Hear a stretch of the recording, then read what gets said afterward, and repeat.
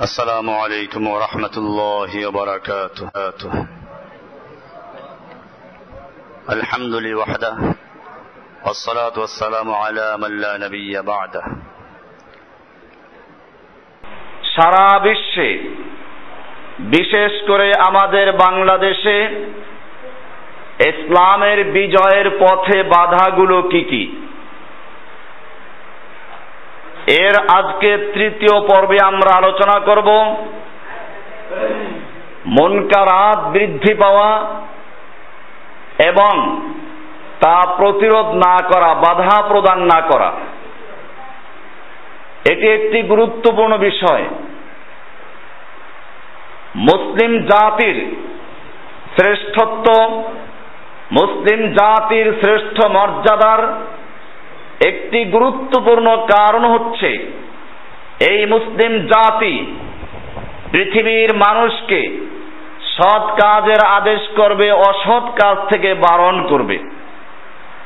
সুরা আল ইমরানের একশো দশ নম্বর আয়াতে আল্লাহ সুবহানাহু ওয়া তাআলা ইরশাদ করেছেন, কুনতুম খায়রা উম্মাতিন উখরিজাত লিন-নাস। تأمرون بالمعروف وتنهون عن المنكر وتؤمنون بالله আল্লাহ সুবহানাহু ওয়া তাআলা ইরশাদ করেছেন তোমরা হচ্ছে উত্তম জাতি খয়রুল উমাম উত্তম উম্মাহ উখরিজাত লিন-নাস তোমাদেরকে বের করা হয়েছে মানুষের কল্যাণের জন্য তা'মুরুনা বিল মারুফ তোমাদের কাজ হচ্ছে মানুষকে সৎ কাজের আদেশ করা। আনিল মুনকার এবং অন্যায় কাজ থেকে মুনকার, অন্যায়, অশ্লীল বেহায়াপনা, এ সমস্ত কাজ থেকে মানুষকে বাধা প্রদান করা। ওয়াতুমিনুনা বিল্লাহি এবং এই সব কিছু করতে হবে আল্লাহর উপরে পূর্ণ ঈমান রেখে। ইমান যদি ক্লিয়ার না থাকে ইমান যদি শিরিক আর বেদাত মুক্ত না থাকে, তাদের জন্য ইসলাম কোনো দায়িত্ব অর্পণ করে নাই। প্রথমেই বলা হয়েছে, তাওহীদের বিষয়গুলোকে। আল্লাহ সুবহানাহু ওয়া বলছেন এখানেও, ওয়া তুমিনুনা বিল্লাহি, আল্লাহর উপরে ঈমান রাখবে। আল্লাহর উপরে ইমান রেখে, শিরিক মুক্ত ইমান বেদাত মুক্ত ইমান রেখে তোমাদের কাজ হচ্ছে মানুষকে সৎ কাজের আদেশ প্রদান করা, অসৎ কাজ থেকে নিষেধ করা। আদেশ। এই আয়াত অনেকেই ব্যবহার করে। অনেকে এই কাজটাকে নবীওয়ালা কাজ দাবি করে মাঠে ময়দানে কাজ করছে। এবং পুরা দুনিয়া ব্যাপী তারা কাজ করে। কিন্তু কুফফারদের কোনো বাধা নেই। কারণ তারা যদিও এই আয়াতটাকে তেলাওয়াত করছে এই আয়াতের অর্থ উপলব্ধি করতে পারে নাই। তা আমরুনা বলা হয়েছে আল আমর আমর কাকে বলে? যে কোনো মাদ্রাসা আলিয়া কৌমিয়া সব মাদ্রাসায় উসুল শাসী নামে একটা কিতাব পড়ানো হয়, ফেকার উসুল। নুরুল আনোয়ার কিতাব পড়ানো হয়, ফেকার উসুল। এই সব কিতাবগুলোতে লেখা আছে, আমর কাকে বলে? আল আমরু কওলুল কাইলে লিগাইরিহি আলা সাবিলিল ইস্তিলাই ইফআল। আমর বলা হয়, কোন ব্যক্তি ক্ষমতাসীন হয়ে নিজে ক্ষমতার দিক থেকে বড় হয়ে তার অধীনস্থ লোকদেরকে বলা এ আল এই কাজটা করো। এর নাম হচ্ছে আমর, এর নাম হচ্ছে আদেশ। বাংলাতেও আমরা বুঝি আদেশ কাকে বলে? সমপর্যায়ের যদি হয় তাকে আদেশ বলা হয় না অনুরোধ বলা হয়। এরকম ভাবে কোন নিচের ব্যক্তি ক্ষমতার দিক থেকে, মর্যাদার দিক থেকে যে ছোট সে যদি বড়র কাছে কোনো কিছু হুকুম করে, ওটাকে আবেদন বলা হয়, ওটাকে আমর বলে না।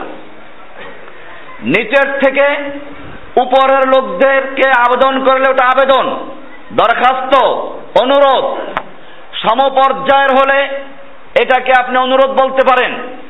আরবিতে এলতেমাস বলা হয়।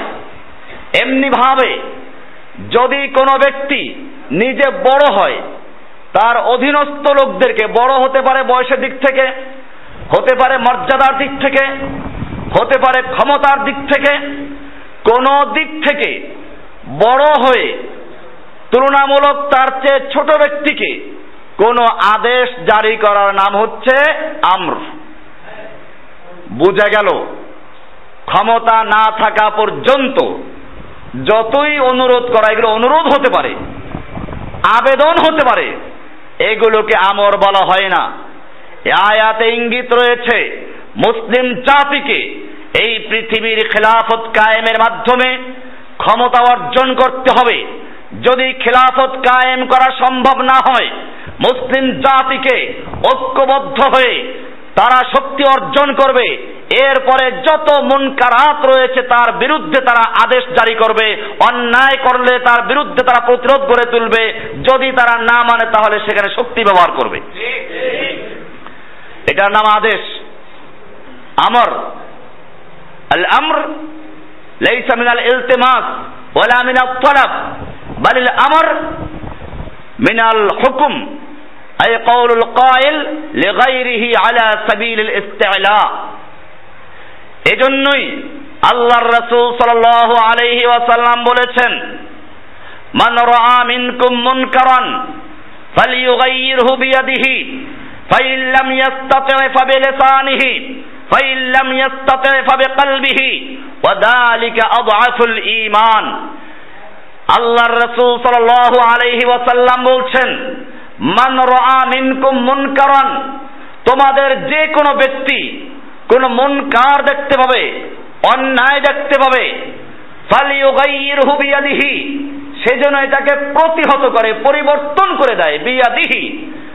শক্তি দিয়ে, হাত দিয়ে। এখানে শক্তি প্রয়োগ করতে বলা হয়েছে। আপনার যে শক্তি নাই থাকে, শক্তি ব্যবহার করবেন থেকে। শক্তি প্রয়োগ করে, হাত ব্যবহার করে তার মাধ্যমে মনকারকে পরিবর্তন করে দাও। ফাইল্লাম ইয়াস্তাতে ফাবেলেসানিহি আর যদি তোমার শক্তি না থাকে, তাহলে ফাবেলেসানিহি মুখের দ্বারা প্রতিবাদ করো। ফালিয়ুগাইয়িরহু। তাও যদি না থাকে, ফাইল্লাম ইয়াস্তাতে ফাবিকলবিহি। যদি তোমার মুখের দ্বারাও প্রতিবাদ করার ক্ষমতা না থাকে তাহলে বিকলবিহি, মনে মনে এটাকে পরিবর্তন করতে হবে। খালি ঘৃণা করলে চলবে না। এখানে ফেল, আগে যে ফেল ব্যবহার করা হয়েছে, সেটা হচ্ছে ফালিয়ুগাইয়িরহু। পরিবর্তন করে দাও, পাল্টে দাও, বদলে দাও ওটাকে। বেগাইর, বেলে কলবিহি, কলবের মাধ্যমে। শুধুমাত্র ঘৃণা নয়, ঘৃণা তো করতেই হবে। ঘৃণা করে আপনি এড়িয়ে গেলেন, এটা বলা হয় নাই। হাদিসে বলা হয়েছে, ফালিউগাইয়িরহু এটাকে প্রতিহত করতে হবে, এটাকে বদলে দিতে হবে। সেই বদলানো হতে পারে মুখের দ্বারা, হতে পারে হাতের দ্বারা, হতে পারে মুখের দ্বারা, হতে পারে কলমের দ্বারা। এই কলব দ্বারা ঘৃণা করার সাথে সাথে যদি কোনো ব্যক্তি পরিকল্পনা গ্রহণ না করে, এটার জন্য কি ব্যবস্থা নেওয়া যায়, সেই চিন্তা না করে, তাহলে সে ব্যক্তি কোনো ইমানের স্তরেই পড়ে নাই। কারণ সর্বশেষ স্তর হচ্ছে ফালিউগাইয়ির হবে কালবিহি কলবের মাধ্যমে এটাকে পরিবর্তন করে দেওয়া আল্লাহর রাসূল সাল্লাম বলেছেন ওয়াদালিকা আদআফুল ঈমান। এটাই হচ্ছে ঈমানের সর্বনিম্ন স্তর। হাদিসটি আছে সহি মুসলিম, একশো ছিয়াশি এবনে মাজার চার হাজার তেরো নম্বর হাদিস। আমাদের মনে রাখতে হবে আমরবিল মারুফ, নাহি আনিল মুনকার, সৎ কাজের আদেশ, অসৎ কাজের নিষেধ, এটার জন্য যা প্রয়োজন তাই করতে হবে। মমিনরা যদি খেলাফত কায়েম করে, সেখানেও তাদের দায়িত্ব দেওয়া হয়েছে। সুরায় হজের একচল্লিশ নম্বর আয়াত, আল্লাহ সুবহানাহু ওয়া তাআলা বলছেন, আল্লাযীনা ইম্মাক্কান্নাহুম ফিল আরদে। মুমিনদের পরিচয় দিতে গিয়ে আল্লাহ সুবহানাহু ওয়া তাআলা বলেছেন, আল্লাযীনা ইম্মাক্কান্নাহুম ফিল আরদে।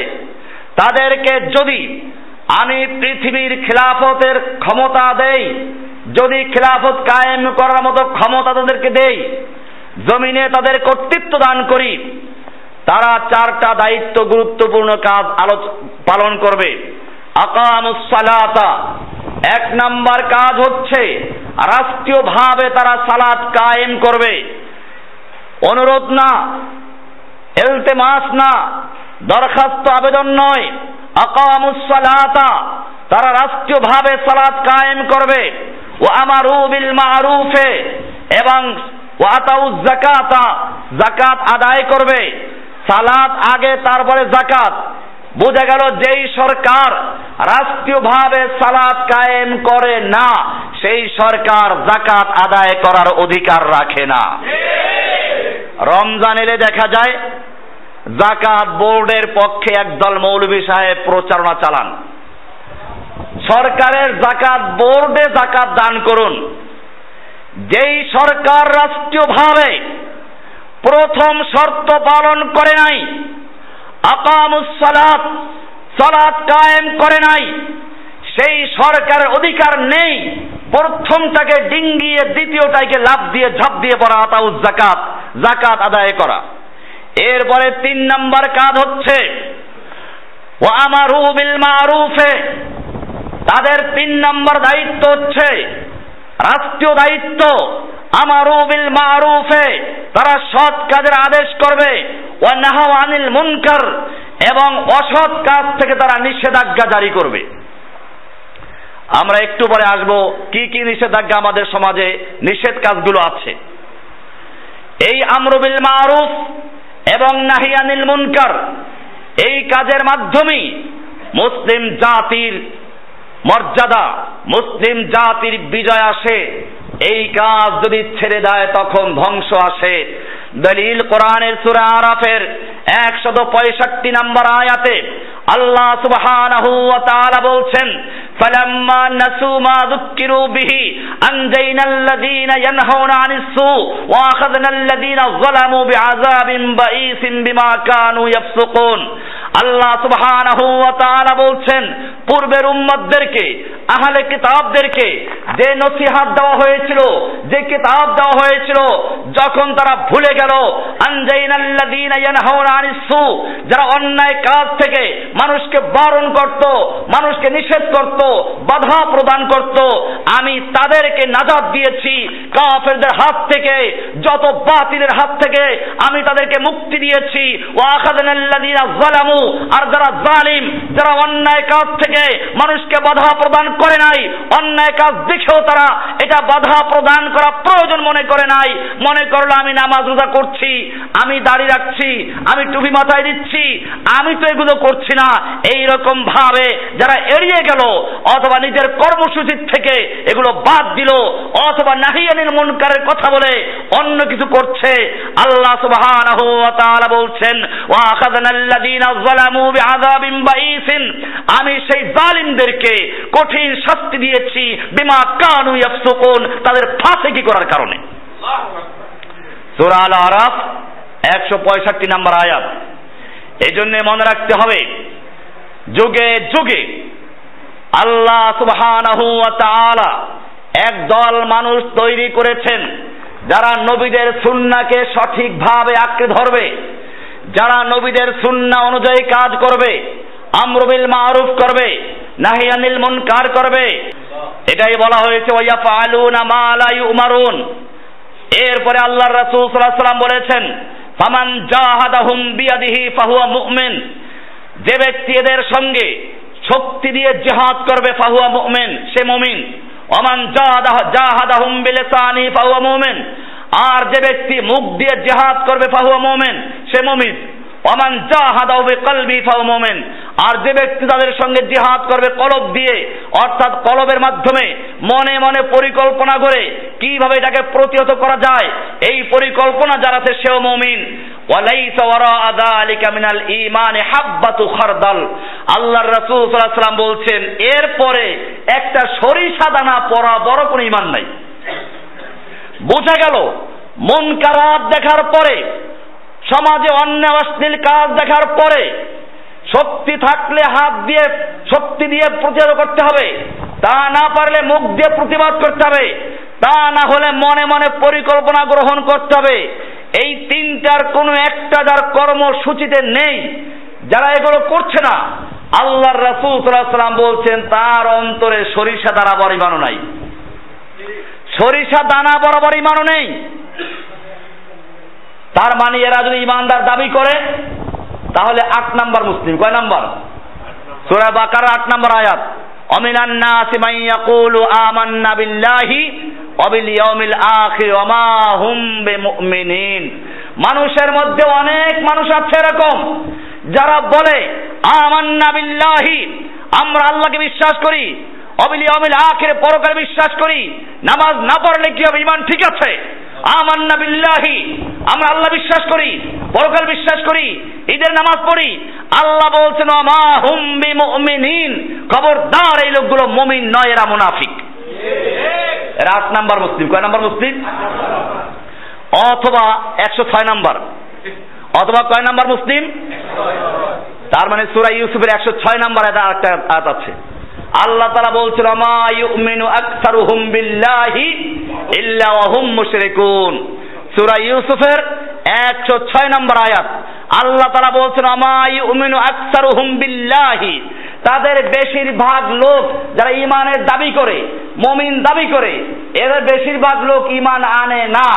ইল্লা তবে ইমান আনে ওয়াহুম মুশরিকুন, শিরক যুক্ত অবস্থায়। তার মানে বেশিরভাগ লোকেরা ইমান আনা সত্য মুশরেক সেরেকে লিপ্ত রয়েছে। আমাদের মনে রাখতে এগুলো কোরআনের আয়াত আমরা কোনো মুসলিমকে কাফের বলি না, কোনো মমিনকে মুশরেক বলি না।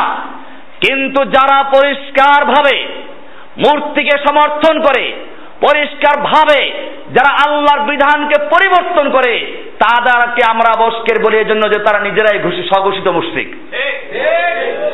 এটা সমস্ত লামায় কেরামদের ঐক্যমত। এ ব্যাপারে কারও দ্বিমত নেই। এ মাসলা আমি বারবার উল্লেখ করেছি। মনকারাতের বিরুদ্ধে আমাদেরকে অবস্থান নিতে হবে। নাহিয়ানিল মুনকার, অসৎ কাজ থেকে বারণ করা। এটা একটা গুরুত্বপূর্ণ বিষয়। আজকে আমাদের মনে রাখতে হবে, সমাজের রন্ধ্রে রন্ধ্রে অসৎ কাজ ঢুকে গেছে, অন্যায় ঢুকে গেছে। আমরা লজ্জায় প্রতিবাদ করি না। একটু পরে দেখাবো কি কি অসৎ কাজগুলো আছে ইনশাআল্লাহ। আল্লাহর রাসূল সাল্লাল্লাহু আলাইহি ওয়াসাল্লাম বলেছেন ইদা উমিলাতিল খতিয়াতু ফিল আরদে, কানা মান শাহিদাহা ফাকরিহাহা কামান গাবা আনহা। যখন কোন ভূখণ্ডে অন্যায় কাজ সংঘটিত হয়, সেইখানে কোন লোক আছে, শক্তি থাকলে প্রতিবাদ করেছে, তা না থাকলে ওটাকে অপছন্দ করেছে, এরকম যদি অপছন্দ করে, তাহলে সে ব্যক্তি ওখানে উপস্থিত থাকা সত্ত্বেও উপস্থিত নাই বলে গণ্য হবে। পক্ষান্তরে, অমান গাবা আনহা, ফারদিয়াহা, কানা কামান শাহিদাহা।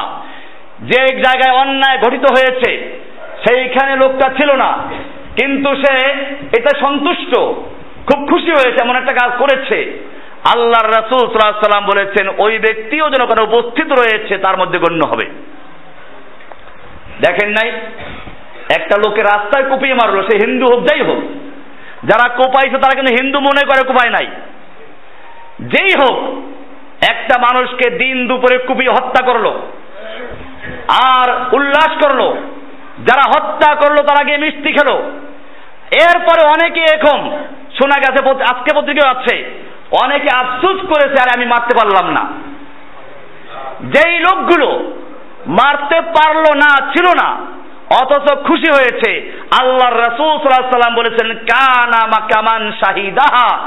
ওই যে অনুপস্থিত ছিল, এই হত্যাকাণ্ডে জড়িত ছিল না। তারাও যারা আফসোস করেছে, হত্যাকাণ্ডের অংশীদার হিসেবে গণ্য হবে। আমাদের মনে রাখতে হবে, হাদিসটা আছে আবু দাউদের, চার হাজার তিনশত সাতচল্লিশ নম্বর হাদিস। অন্যায়কে অন্যায় বলতে হবে। ভাইরা আমার, আলোচনা হচ্ছিল মন মনকারাতের বিরুদ্ধে। আমাদেরকে প্রতিরোধ করতে হবে। আল্লাহ রাসূল সাল্লাল্লাহু আলাই ওয়াসাল্লাম বলছেন, মা মিন কওমিন ইউমালু ফীহিম বিল সুম্মা ইয়াকদিরুনা আলা আন ইউগাইরু সুম্মা লা ইউগাইরু ইল্লা ইউশিকু আন ইয়াউম্মাহুমুল্লাহু মিনহু বিআকাবিন রাসূলুল্লাহ সাল্লাল্লাহু আলাইহি ওয়াসাল্লাম বলছেন, যখন কোন জাতি, কোন গোষ্ঠী অন্যায় লিপ্ত হয় অন্যায় অপকর্মে লিপ্ত হয়। অথচ ওইখানের লোকদের ক্ষমতা আছে। এটাকে বদলে দেওয়া, এটাকে প্রতিহত করা।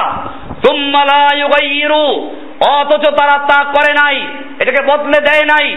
আল্লাহর রসুল সাল্লাহ আলাই ওসাল্লাম বলছেন অচিরেই আল্লাহ সুবহানাহু ওয়া তাআলা তাদেরকেও সেই একই শাস্তিতে লিপ্ত করে দিবেন। আল্লাহর রাসূল সাল্লাল্লাহু আলাইহি ওয়াসাল্লাম সত্যি বলেছেন, যদি তাদের ক্ষমতা থাকা সত্ত্বেও প্রতিহত না করে, ইল্লা মিনহু বিইকাবিন, আল্লাহ সুবহানাহু ওয়া তাআলা তার পক্ষ থেকে চরম শাস্তি দিয়ে তাদেরকে আমভাবে ধ্বংস করে দিবেন। আইয়া উম্মাহুম ব্যাপকভাবে তাদের উপরে শাস্তি প্রয়োগ করবেন। আবু দাউদের চার হাজার তিনশো চল্লিশ নম্বর হাদিস। এমনি ভাবে আল্লাহ রাসূল অনেকগুলো হাদিস আছে, যেখানে পরিষ্কার করে দিয়েছেন, যেখানে পরিষ্কার করে দিয়েছেন যত রকমের অন্যায় দেখবে, অবিচার দেখবে, সেই সবগুলোর বিরুদ্ধে আমাদেরকে দাঁড়াতে হবে। আল্লাহ রসুল সাল্লাহ আলাইসাল্লাম এইভাবে আমাদেরকে সাবধান করেছেন।